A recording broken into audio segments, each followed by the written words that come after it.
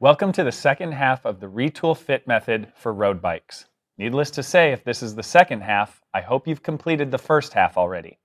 That first half covered steps 1 through 8, or setting the XY plane. We are now going to move into the second half, where we set the Z plane of the rider and work on their pedaling mechanics. This portion of the fitting process optimizes the rider's hip-knee foot alignment. Well-supported pedaling mechanics will help ensure riders are as efficient, powerful, and safe from injury as possible. The Vantage motion capture system provides objective data that will drive the decisions we make for the rider as we suggest adjustments and equipment to better align their bodies based on what we assessed in the physical evaluation. First, observe the rider pedaling from the front. Take note of where the rider's knees are relative to the hip and foot. A valgus knee is when the knee is inside the foot and the hip. When the rider is pedaling with their knees noticeably inside their hips and feet, knee travel tilt data will most likely show a negative value. Refer back to the rider's prefit assessment. Review forefoot angulation. Varus forefeet can collapse under load and cause the knees to dive inward.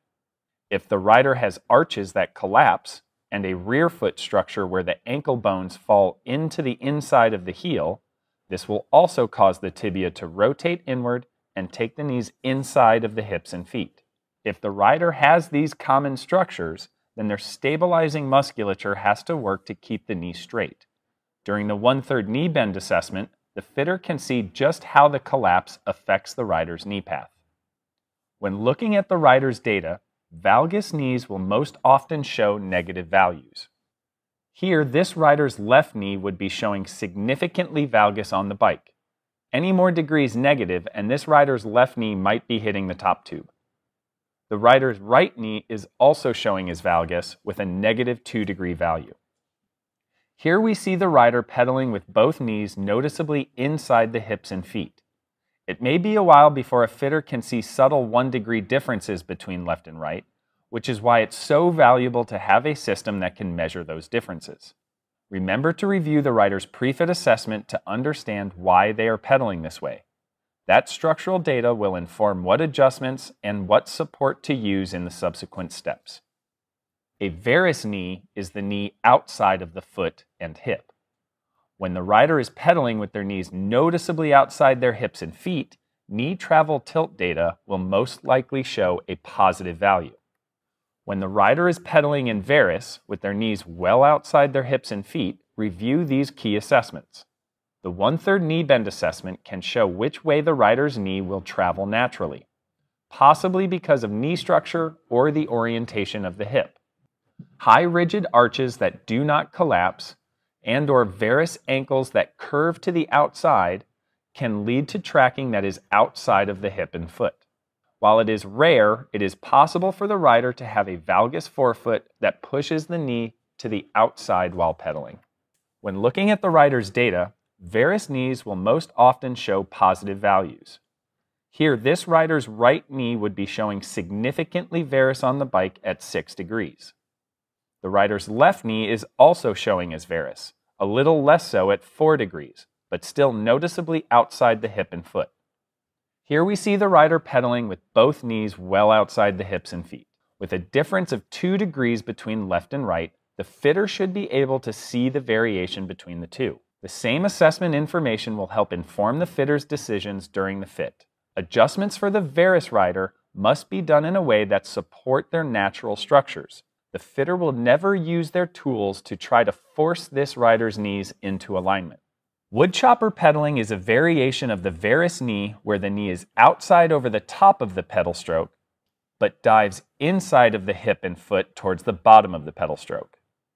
Woodchopper riders will usually have a positive knee travel tilt and will also have a large value for knee lateral travel since the knee is moving so much from outside to inside. When trying to understand what about this rider is causing this significant movement in their knees, review these key assessments. First, consider the rider's hip range of motion. If the rider has limited range in their hip flexion on the table, then they are most likely exceeding that limit on the bike when wood chopping. Their hip angle is closing too much, and in order to get over the top of the pedal stroke, they have to throw their knees to the outside to clear the top of the pedal stroke. Another physical factor similar to limited hip range of motion could be that this rider has to clear their stomach mass to get over the top of the pedal stroke. Finally, once the knee clears either or both of these physical limits, the typical collapsing structures in the feet allow the knee to dive in towards the bike, coming inside the hip and foot. Woodchopper's knees will typically have large positive values for knee travel tilt. That large swing of the knee moving from outside to inside usually also means a large value for knee lateral travel. The rider's knees come well outside the hips and feet over the top of the pedal stroke, often as a result of some physical limit, either in the hip or getting around their stomach. Once clear of that limit, then the usual suspects in the feet collapse and take the knees to the inside. The windswept rider's knees look like they are being blown to one side by the wind. This rider has one knee outside and the other inside the hips and feet. Their data will show the asymmetry when compared left to right in knee travel tilt and also in knee to foot lateral offset. The key to understanding the windswept rider is to find the underlying asymmetry in their prefit assessment. Review these key assessments to find what structural asymmetries may be driving this lopsided type of pedaling. Significant differences from left to right in the rider's hips and feet can pull the rider to one side on the bike. This is also a good time to double check the rider's equipment. Recheck their sit bone width. If the rider was between sizes and earlier opted to stay on the narrower saddle, consider suggesting the wider saddle. Also consider whether the saddle is bent, broken, or possibly mounted crooked on the bike. Windswept knees will look very different when compared left to right. This rider's left knee is valgus negative 1 degree and the right knee is varus 3 degrees. While both these values fall within the average range, it is worth noting that they are asymmetric. The fitter should be able to see the difference in the rider's knees when they pedal, with the left falling in towards the frame and the right knee tracking away from the frame. Knee to foot lateral offset values can also show this pedaling asymmetry. For windswept riders, expect to see a significant discrepancy left to right. Consider a difference of more than 15 millimeters significant.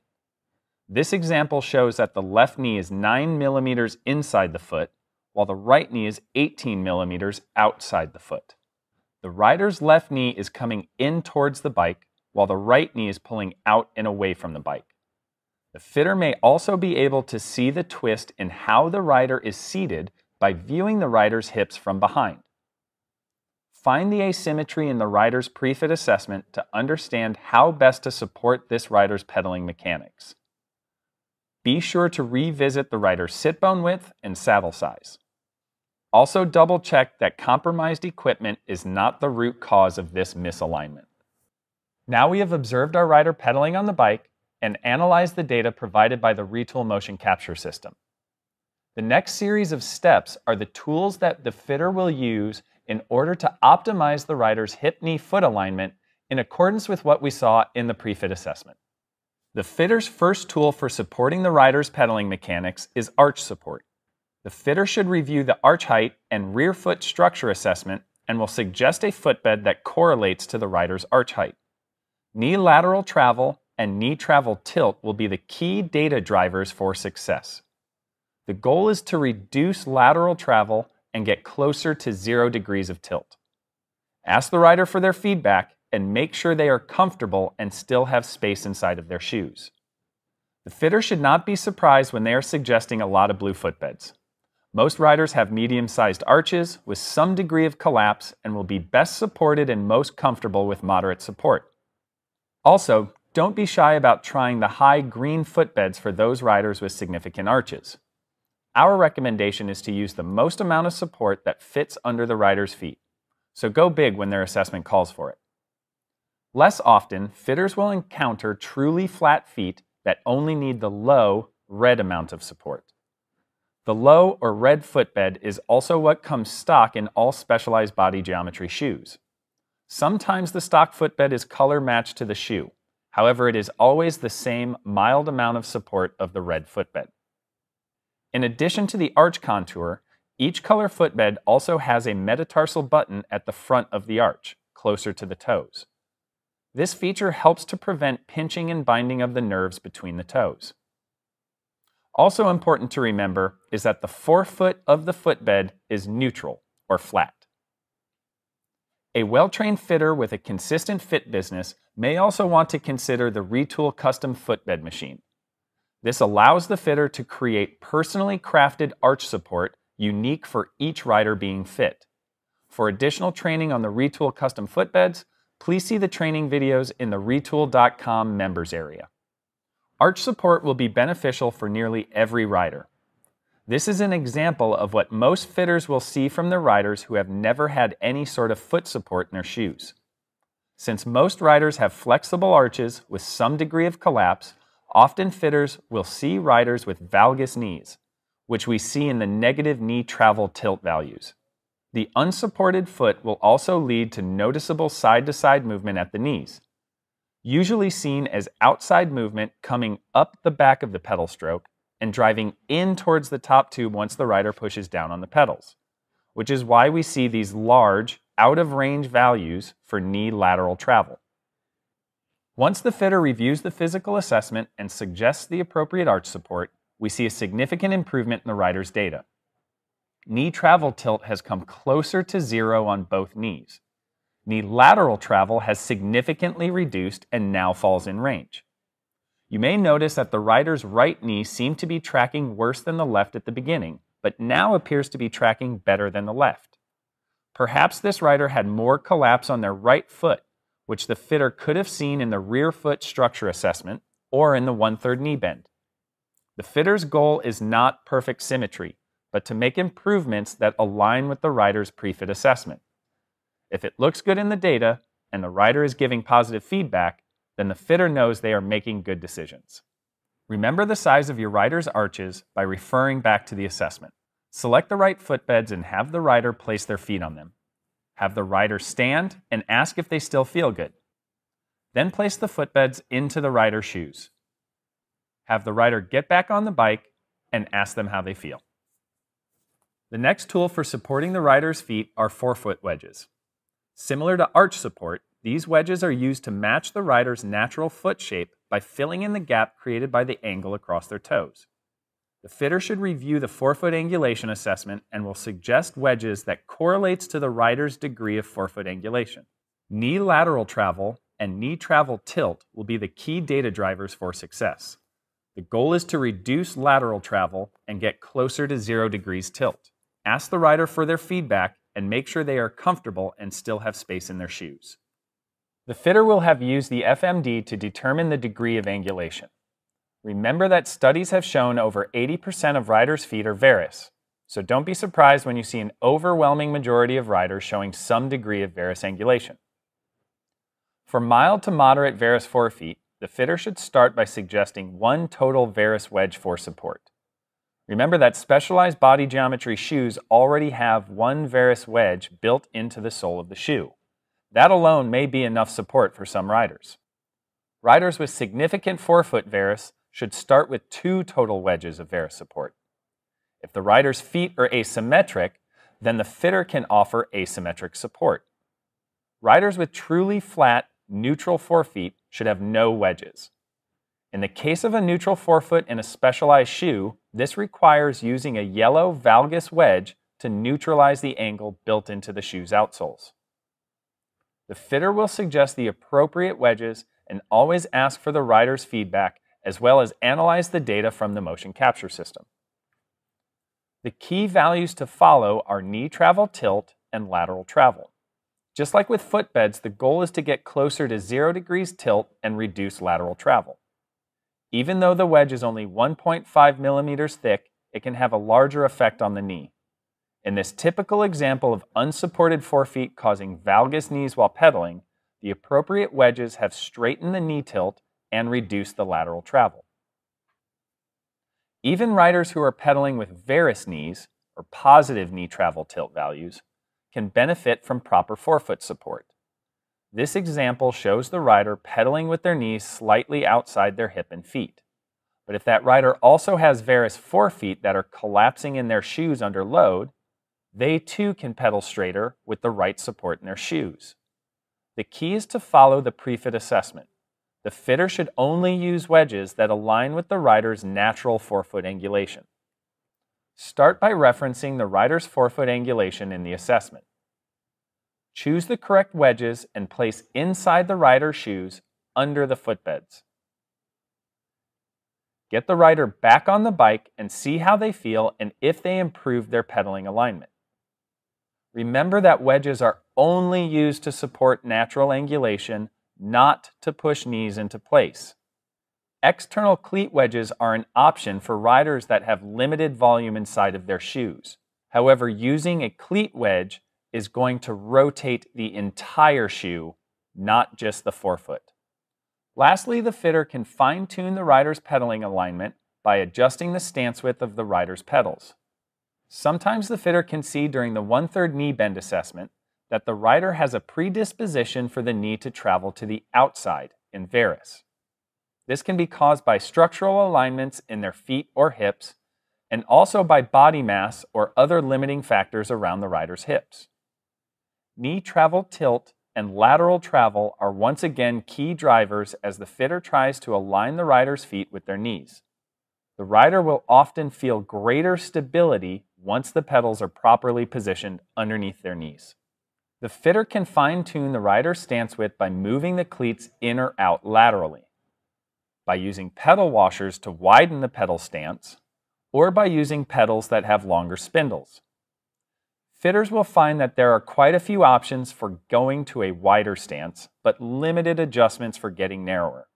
Most often, the fitter will be trying to make the stance wider for riders who are pedaling in varus with their knees outside of their hips and feet. Increasing their stance width at the cleat with washers or longer pedal spindles will place the feet more in line with where this rider's knees are. Less often, a rider may still be pedaling with their knees in and may need a slightly narrower stance width. Only a couple pedal manufacturers are offering pedals with shorter spindles. The fitter may be limited to just cleat adjustments to make the stance much narrower. This example is typical of a rider who needs a wider stance. Large, positive values that are out of range in knee travel tilt with a high but barely in range amount of lateral travel. Even just a couple of millimeters from a pair of pedal washers can make a significant difference in the rider's knee travel tilt and travel. Review the one-third knee bend assessment documentation to find a possible correlation. With this rider pedaling in varus, we will need to widen their stance. Widen their stance with pedal washers.